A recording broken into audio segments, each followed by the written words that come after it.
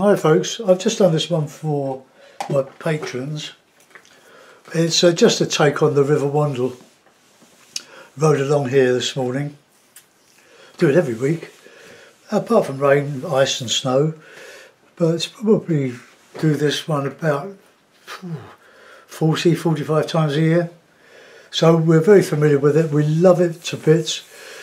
We take photographs of it, especially when it goes through um, Morden Hall Park, the boardwalk, the wetlands, which is absolutely beautiful. Uh, never fails to inspire. And the River Wandle is a Surrey chalk stream.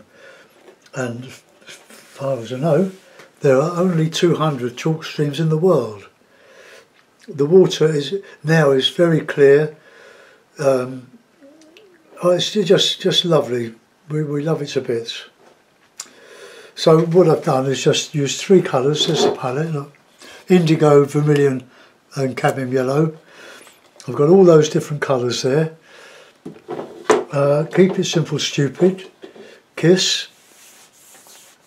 You don't need hundreds of colours, three or four, five, maximum six because you, when you learn your mixes you can make most of the colours and shades with just the three colours but it just depends what three colours you use. But that's up to you personal choice. But so I hope you like this one. I'll get on back on with an oil painting tomorrow. So I'll see you soon. Thanks for looking in. Goodbye